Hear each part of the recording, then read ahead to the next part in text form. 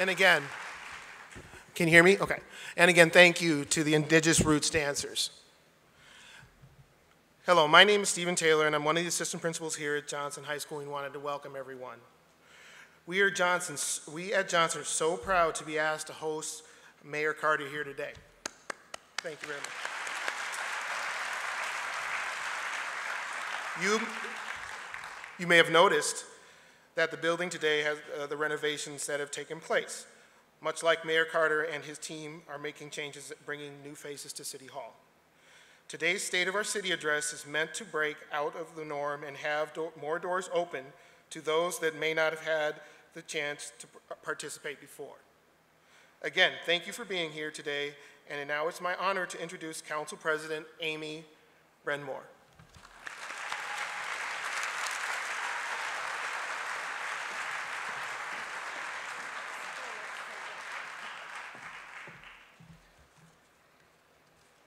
Thank you so much.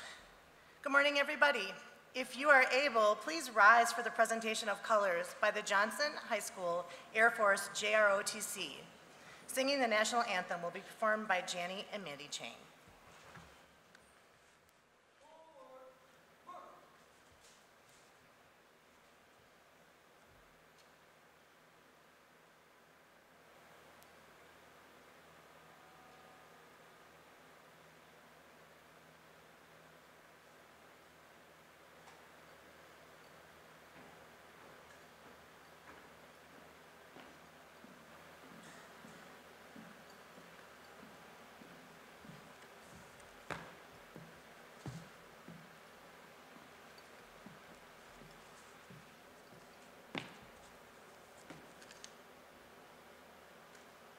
Present. Color.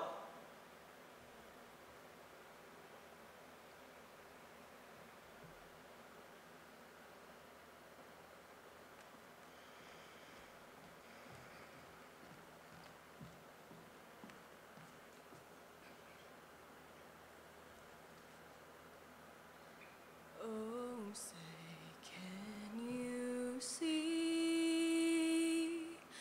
by the dawn's early light what so proudly we held at the twilight's last gleaming, whose broad stripes and bright stars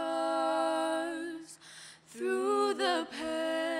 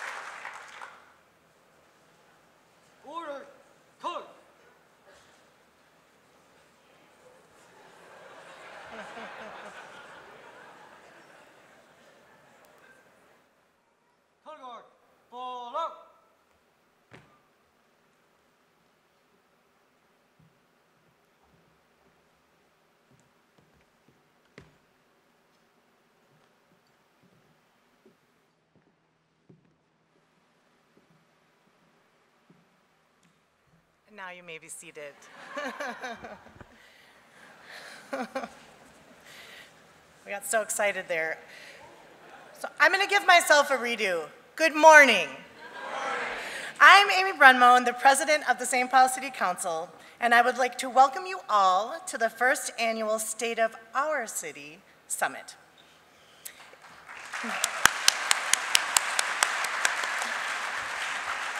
It is wonderful to see such a group gathered on a really, really busy um, May morning.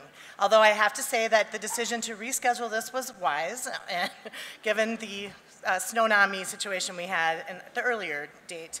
Um, I'd also like to extend a special welcome to my colleagues, uh, Councilmember Bostrom, Councilmember Prince, Councilmember Tolbert, as well as County Commissioners Tony Carter, uh, Commissioner Jim McDonough, our wonderful school board members John Broderick, Jeannie Foster, Zuki Ellis, Steve Marchese, John Schumacher. Uh, we also have Senator Foung Hawj with us today, and um, from across the river, uh, Mayor Jacob Frey. Welcome.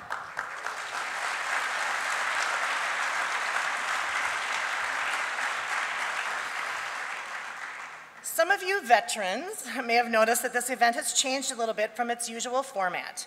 In the past, the State of the City address was a time to hear from our mayor about his, and I'm being intentional about that word, priorities for the year.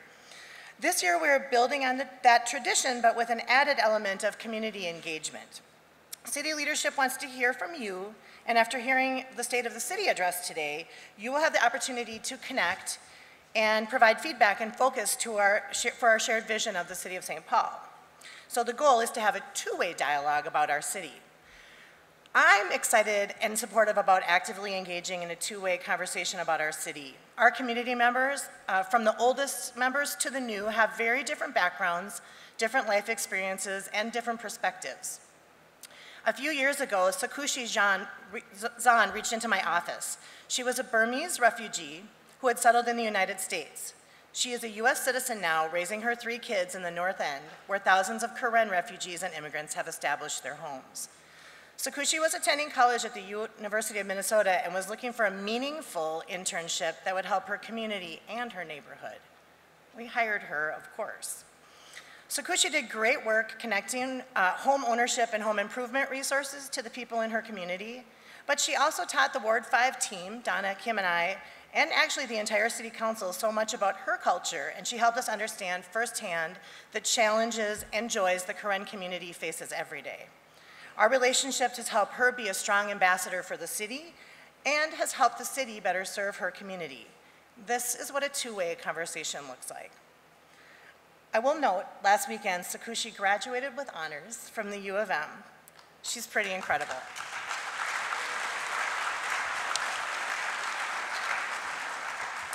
So on that high note, please help me in giving a warm welcome to my partner and friend and Mayor of St. Paul, Melvin Carter.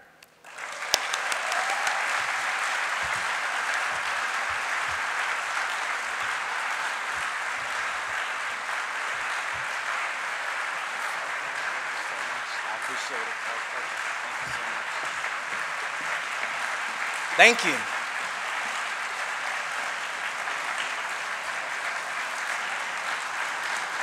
Thank you.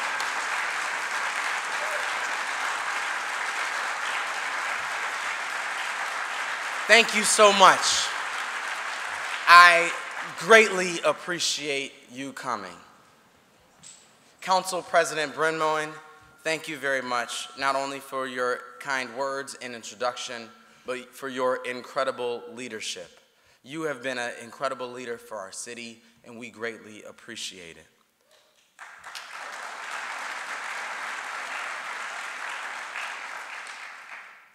My name is Melvin Carter, and I am your mayor.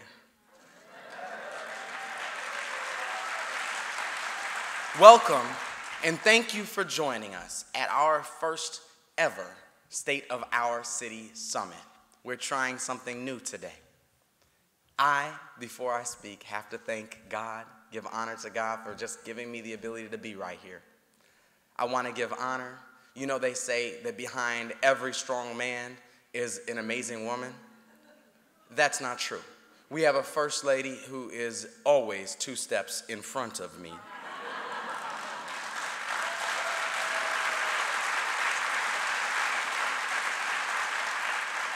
And I want to thank Dr. Sakeena Futrell Carter for her leadership, her support, and her strength every single day of my life. Thank you so much.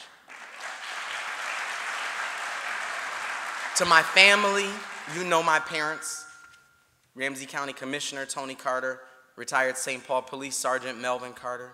Thank you so much for your leadership and guidance and support through the years. To all of our friends, supporters, and community members, I really appreciate you being here today. To the members of our city council, those who are with us today, and those who were unable to join us on a Saturday morning, I thank you for your incredible service. I have learned much from you. I'm inspired by your passion, not only for the wards you represent, but for your passion for the entire city and I'm honored to serve alongside you. To Mayor Frey, thank you so much for making the trip across the river this morning. We'll be sure to stamp your passport on the way back. Thank you so much for being here. I'm also honored, you know, we have a strong set of sister city relationships with cities across the globe. Just yesterday, Sakeena and I got a chance to visit with our visiting Mayor Breuer uh, from our sister city, Neuss, Germany, and his wife. Thank you so much for being here with us.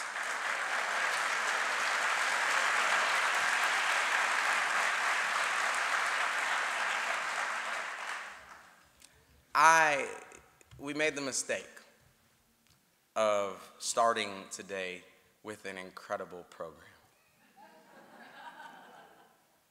After the incredible dancers from Indigenous Roots, Kaupuli, Yause Nashli, weren't they incredible?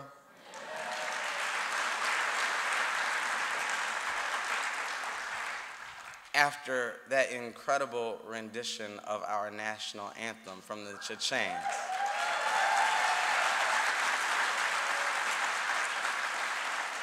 I feel like I'll ruin the morning by opening my mouth. but I'll try anyways. I want to thank the members of our St. Paul School Board who are here and the members of our Johnson High School and St. Paul Public Schools family. Thank you for your service. Thank you for hosting us here today. The members of the County Commission who are here. Thank you for your leadership in our community. And I see several members of our St. Paul legislative delegation here as well. Thank you. We are partnering closely together to ensure that the city of St. Paul is well represented at the legislature right now. And I thank you for your leadership and your partnership. Please give them all a round of applause.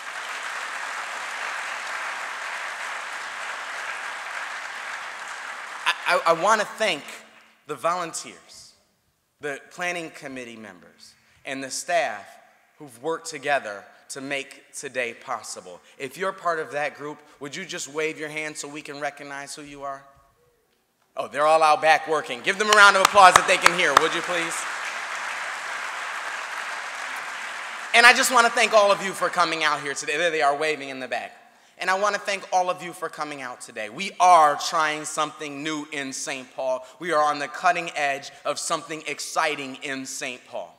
For 138 days now, I've had the privilege and humbling honor and the extreme challenge of serving as mayor of the most incredible city on the planet, St. Paul, Minnesota.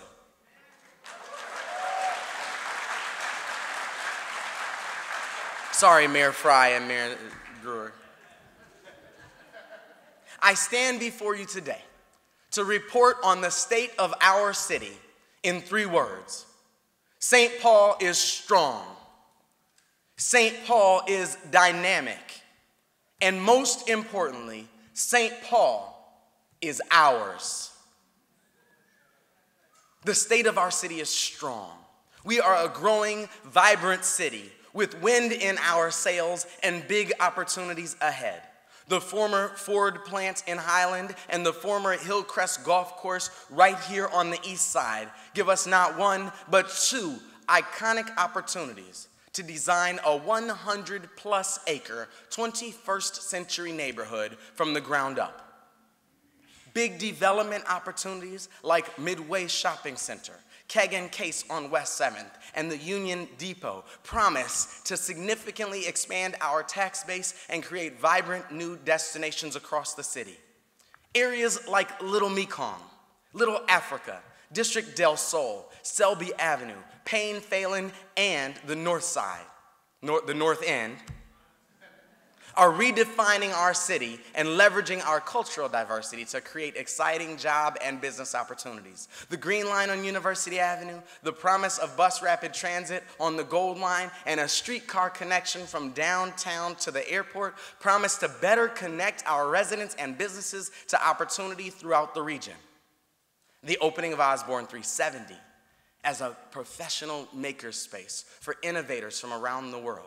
And the opening of Treasure Island Center, complete with a top floor practice facility for the Minnesota Wild, are continuing to prove our momentum downtown and our new Downtown Alliance, which I lead in close partnership with Securian CEO Chris Hilger, Ecolab CEO Doug Baker, and a number of downtown residents and business leaders will help ensure that our downtown remains a vital core of commerce and culture that connects to and offers opportunity for our entire city.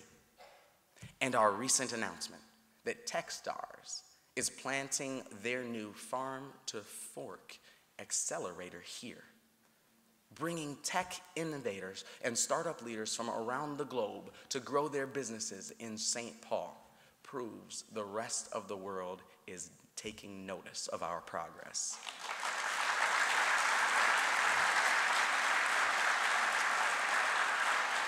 Meanwhile, the St. Paul Saints are preparing for their home opener. Our Minnesota Wild made the playoffs for their sixth straight year. Minnesota United will bring Major League Soccer starting next spring, and the Gold Cup International Soccer Tournament will bring the U.S. men's national soccer team and the eyes of the world to St. Paul next summer.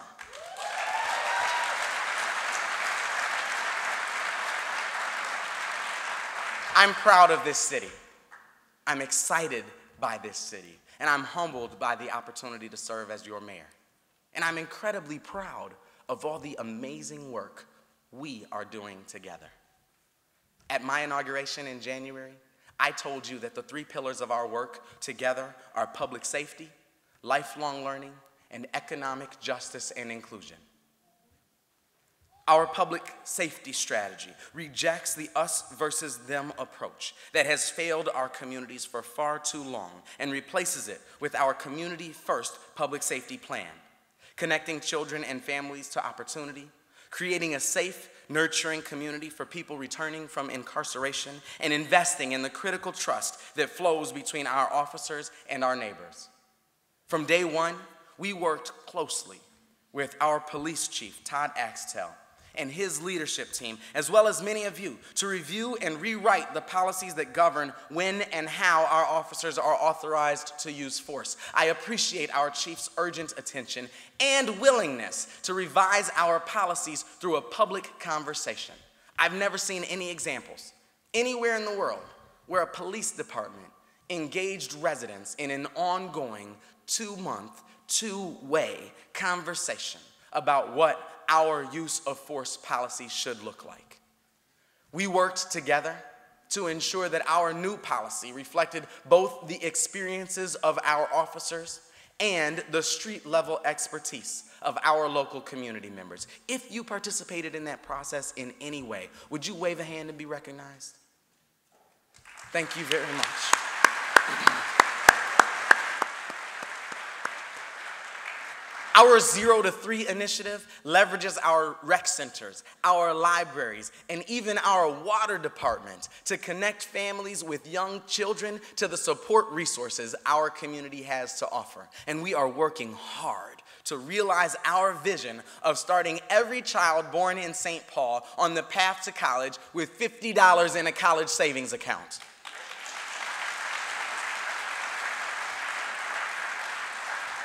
on occasion, on occasion, people look at me and say, $50 isn't enough to pay for college.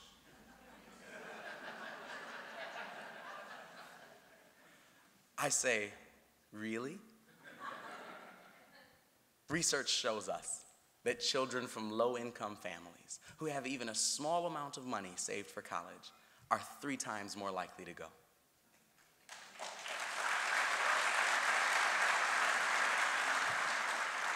I deeply appreciate the way our local businesses banks, colleges, foundations, and nonprofit leaders have stepped forward to help with this exciting and transformational concept. Specifically, I'm excited about the incredible group of individuals who have stepped forward to serve on our College Savings Accounts Task Force, led by, led by co-chairs Ann Mulholland, Vice President of Community Impact at Minnesota Community Foundation, and Nicole Beckstrand, President of Sunrise Banks, to develop over the next year a set of recommendations about how to design, implement, and fund St. Paul's College Savings Accounts Plan. Would any members of that CSA task force who are in the room wave your hand to be recognized?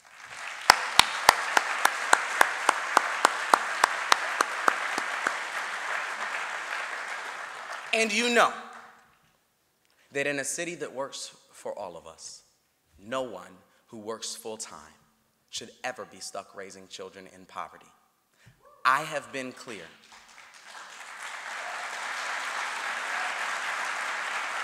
I have been clear on minimum wage, and so have you. In our largest municipal election in over a decade, over 95% of St. Paul voters cast their ballot for a candidate who supported raising the minimum wage to $15 an hour.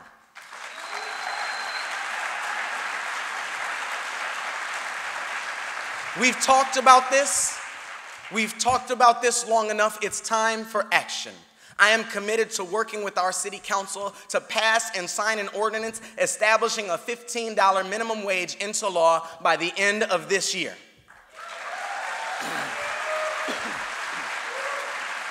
we have work to do. We have work to do to get there. In the coming months, we will work with our city council, labor and business leaders, and all of you to fill in the specifics of our policy, including whether to make accommodations for small businesses and youth job training programs, how to best phase in the increase, and whether to allow employers to pay tipped workers a lower wage. I have strong feelings about these questions, and I know many of you do too. We won't always agree, and that's a good thing. It means we can learn from each other. One thing we can agree on, though, is that our businesses and our workers are inseparable parts of one whole. For our families and workers to thrive, we need our businesses to succeed. For our businesses to thrive, we need our families and workers to succeed. This is an opportunity to, for us to practice a skill that is far too rare in today's political discourse. We will listen to each other. We will learn from each other's perspective. We will develop a course of action together, and we will move forward together.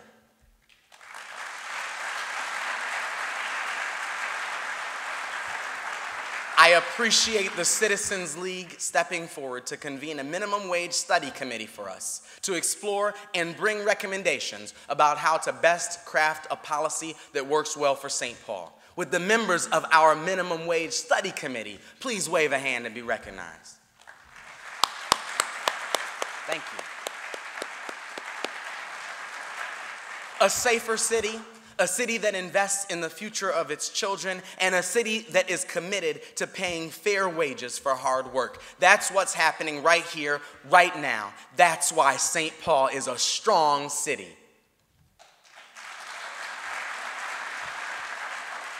St. Paul is also a dynamic city. We are a rapidly growing, rapidly changing community. If my great grandparents were here today, they would hardly recognize us as the small, quaint Irish Catholic town where the cathedral stood as the highest building in town. This is not our great grandparents' St. Paul anymore. We are a diverse, thriving, international, multilingual community. Our residents and business owners come from all over the globe, speak over 100 different languages at home, and practice countless different religions, cultures, and customs. We're a growing city. Our population has grown by over 24,000 people in the last eight years alone. We're nearing an all time high population and projected to just keep on growing over the next generation. Growth and change requires a dynamic city building strategy to retool all of our neighborhoods for the future. We'll need more classrooms, more after school programs, more library books to connect our children and families to opportunity and a bright future. We'll need more paramedics, firefighters, and police officers than ever before to keep our neighborhoods safe. We'll need more living wage, career ladder jobs that give our neighbors a chance to get ahead. We'll need to invest to ensure people can get around our city by transit, bicycle, and on foot. And every goal we have as a city will rely on us building thousands more units of housing that is affordable and accessible to all of us, especially our lowest income residents.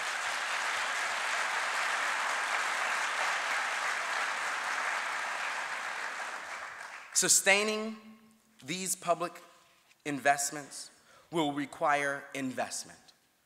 So, growing our tax base is more urgent than ever. That's why we have to meet our biggest opportunities with a big vision. We just can't afford to sell ourselves short. We also have to be willing to have tough conversations and tackle our biggest challenges head on.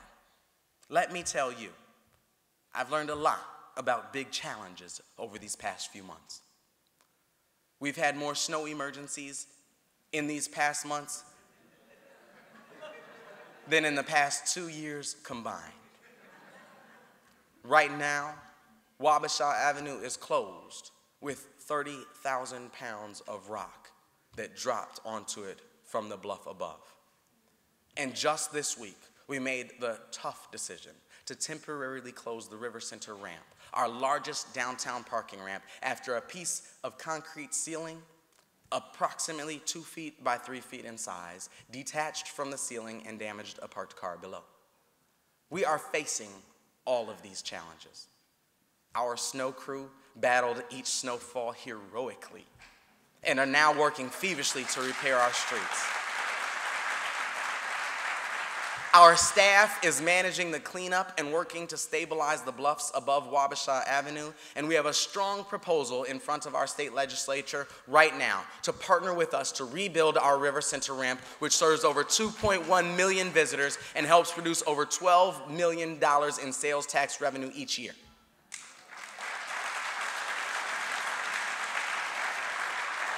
I appreciate the deep coalition of labor and business leaders, the strong support of our entire city council, and almost every member of the St. Paul legislative delegation, as well as the bipartisan support this important project has received at the Capitol. We wrote an op ed last week and we put it in the paper from our labor leaders, from our business leaders, from our Chamber of Commerce presidents, and from me and from the president of our Chamber of, of our St. Paul City Council. And one person read that letter and said, You know, the fact that all of these people signed one piece of paper is news in and of itself.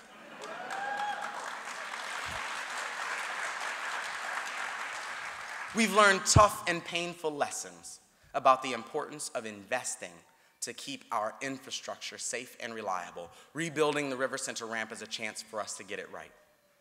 Finally, we're also preparing for one of the toughest logistical challenges a city can make as we shift our city this fall to an organized hauling system. We've talked about for a long time, we've talked about how important that is to reduce wear and tear on our streets, to ensure a safer, cleaner city, and to reduce our carbon footprint please visit stpaul.gov slash garbage to stay up to date on the latest information and updates about how we're preparing for this major change, which will impact every single household across our city. I know that big change makes us uncomfortable and challenges our city in many ways. I also know that seeing change on the horizon, recognizing that change is inevitable, and starting now to retool our community for the changes ahead is the key to transforming challenge into opportunity for the future. And that brings me to my favorite part finally, most importantly, the state of our city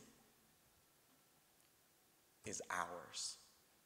See, back in high school, I once made the mistake of asking my dad if I could borrow the car. Dad told me there's no such thing as the car. You're asking to borrow my car.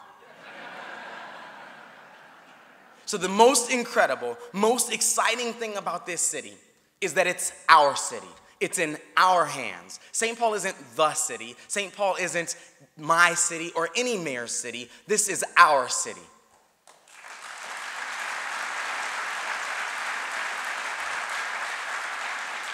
Crafting solutions to our challenges, preparing our children for the future, and keeping our neighbors safe will require all of us to build the vision and do the work together. That's why we invited you in right from the beginning. We needed your help to hire staff for an administration that reflects St. Paul's diversity and leverages community expertise. And over 100 of you spent three days reading resumes, reading resumes, interviewing candidates, and sending me recommendations. Because of your help, we hired a talented and diverse team who has hit the ground running. If you served on one of our hiring panels, would you wave your hand and be recognized? And if you serve as a member of my administration, my office, or as a city employee, would you please stand now and be recognized for your incredible work?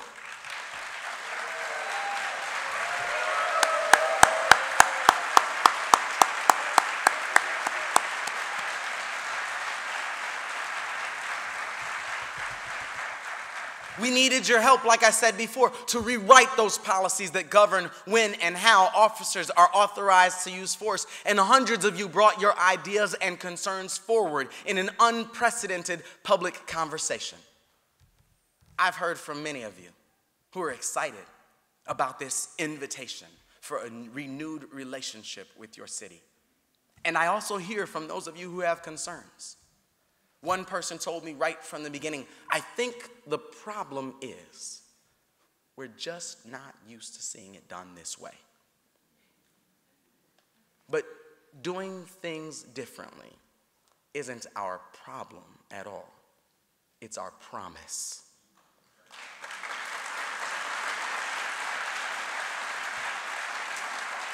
Building a city that works for all of us will require more than new laws and programs. It will require us to completely rethink the way we run our city. Building a city that works for all of us requires a dynamic approach to city building, an approach that feels new but actually traces its roots all the way back to the opening paragraphs of our country's Declaration of Independence. See, right after life, liberty, and the pursuit of happiness, our founding leaders made an even more transformative, even more revolutionary declaration, one whose implications we far too rarely explore.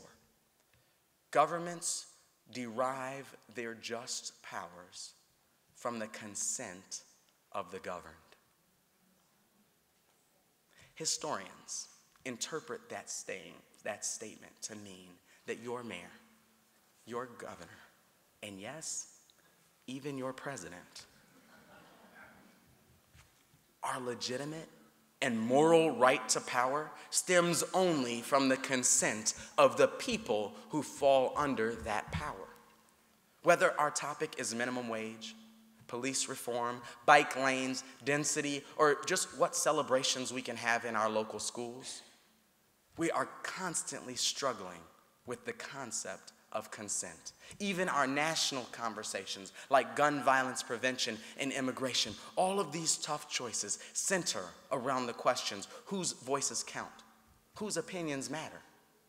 These are important questions with a very simple answer.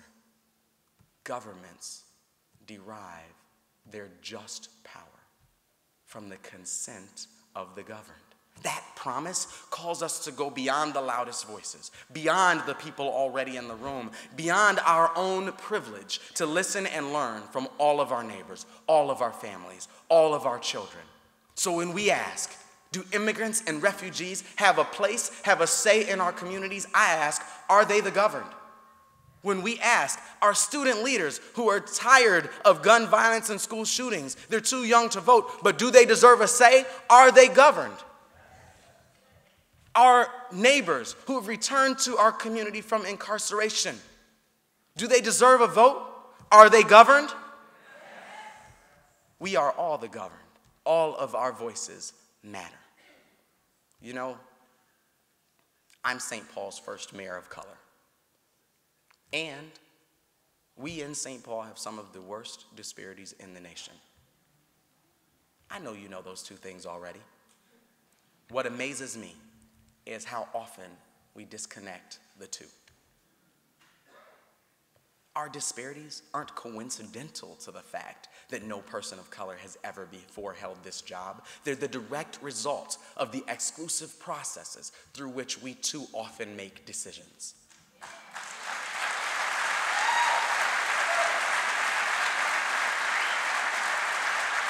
See, that's why today has to be a summit, not just a speech. And I hope you're staying for the summit portion of the morning. Our engagement together is the only way we can truly lead this city forward in a way that best serves all of our communities and families and prepares all of our children for success. We have to reimagine St. Paul and truly make it our city together. I know that many of you know that, and I'm inspired by your energy. Sakeena and I can't walk through the grocery store without someone stopping us to ask how they can help. I've heard you loud and clear. You have more to offer. You don't want just want me to do good things in City Hall. You're ready to roll up your sleeves and jump in. Our biggest challenge is harnessing the incredible people power alive in this city. From our mayor's office staff and city employees to residents in every neighborhood, ordinary people are working together every day to do extraordinary things. You are what's most beautiful about St. Paul. A year ago, I met an incredible couple named Wade and Julia Burgess. They told me all about their beautiful daughter, Vivian, her infectious, joyful smile, her love for the playground near their house, and how on November 12th, 2016, they found Vivi unresponsive in bed just hours after celebrating her third birthday. I can't imagine the trauma they experienced, nor the strength it must have taken to challenge, to channel their pain into Vivian's joy, the foundation they established to bring awareness to sudden unexplained death in childhood and to share Vivian's joy with other children by raising money to transform Vivi's playground at Boyd Park into a destination play space that encourages active, outdoor, and imaginative play. Wade and Julia are here with us today. Thank you for your work to keep Vivian's joy alive in St. Paul.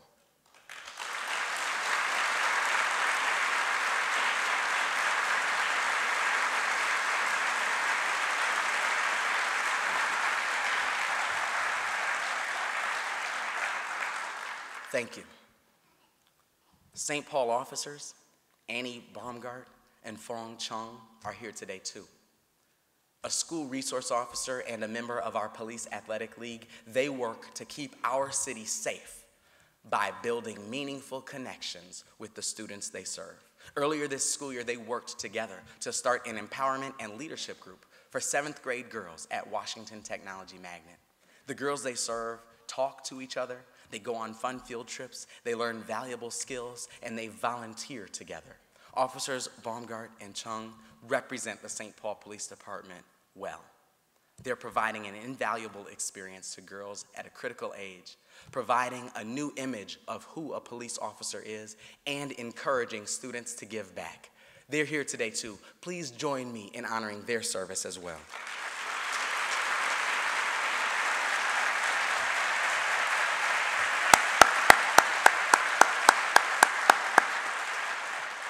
As excited as I am about the St. Paul of today, our youth and student leaders make me even more hopeful about our future.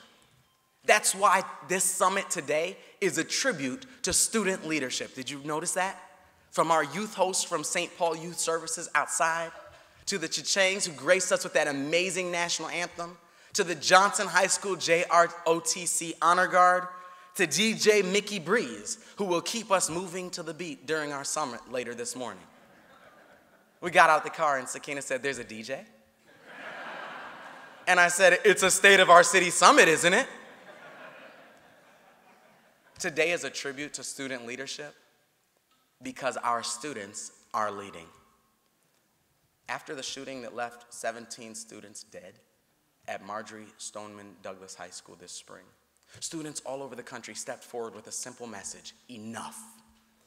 I've heard that message from third graders who wanted to know why their tallest classmates have to worry about covering the windows in an active shooter situation. And from their teacher who suffers nightmares about whether or not to unlock the classroom door to rescue a student she allowed to use the restroom. Enough. I heard that message from the students who testified powerfully at our state capitol when Representative Dave Pinto formed, forced a hearing on mandatory background checks and gun violence restraining orders. Enough. And I heard it loud and clear from the hundreds of students who walked out at Harding High School on March 14th with signs that read, Books, not bullets. I spent an hour with that student leadership team who organized that walkout. Like all of us, they have had enough of the mass shootings that have plagued our country again and again. And they asked me what I think is powerful enough to make this time different. A few of those Harding students are here today too, and I have an answer for you. You are that difference.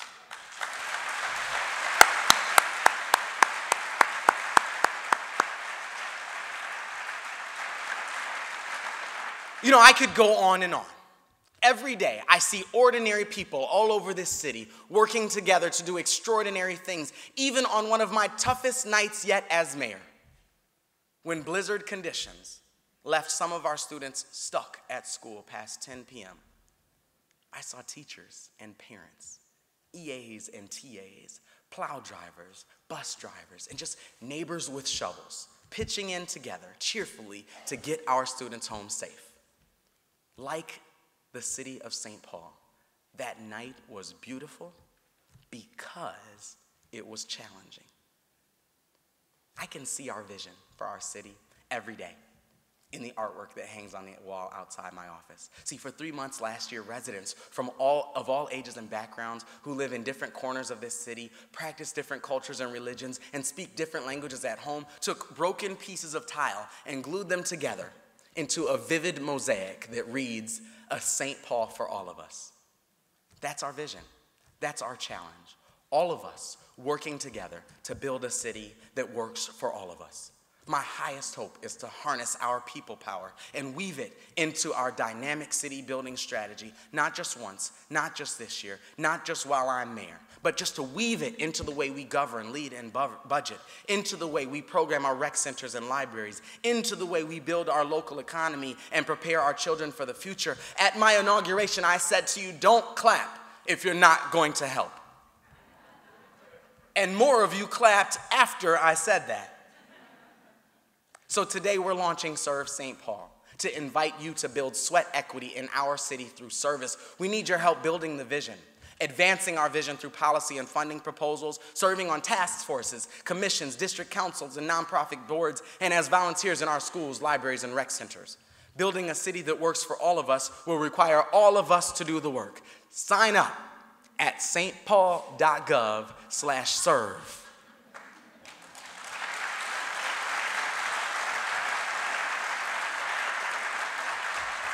I'm closing. St. Paul is a strong city with every competitive advantage to emerge and thrive in the future. St. Paul is a dynamic city, changing and growing in exciting ways. And St. Paul is our city to govern together and to equip for the dynamic future ahead. Now is a critical time in our city, our state, our country, and our world. You know, the voices that urge us to hate and fear each other seem louder than ever.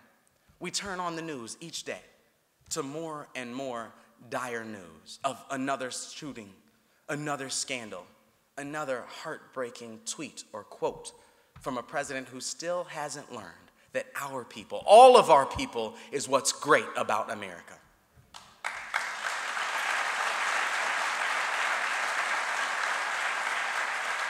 You know, sometimes the challenge ahead seems too great to bear, but two weeks ago I got a chance to spend time with Kofi Annan, a Macalester College alumnus who went on to serve as Secretary General of the United Nations and win the Nobel Peace Prize in 2001. To paraphrase, I heard him tell a group of students, You can change the world by changing your school, your community, your city. That powerful, empowering message is the way forward.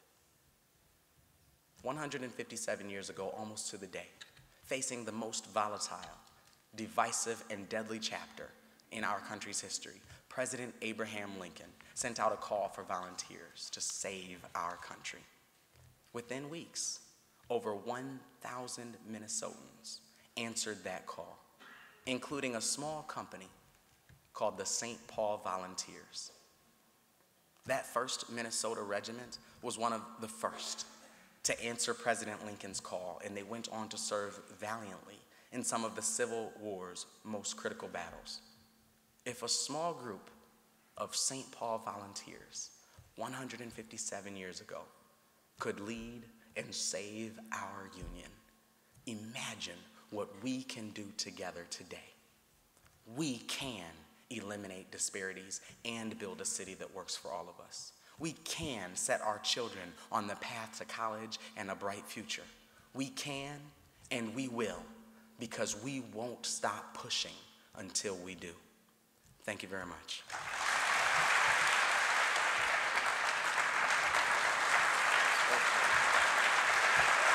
Thank you.